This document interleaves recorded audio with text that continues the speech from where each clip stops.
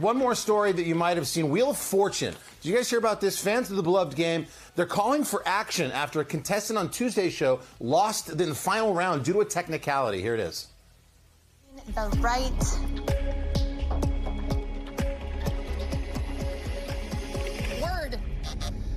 You know, this one's tough because you, you said all the right words, including the word word, but as you know, it's got to be more or less continuous. We can't give you the prize, and it was the Audi. Oh, oh man.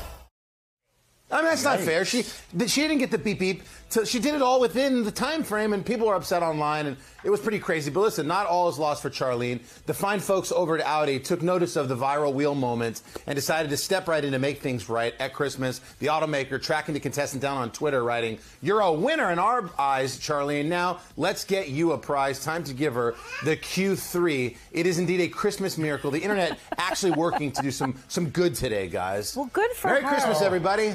I, I get the outrage over the technicality. She should have won that.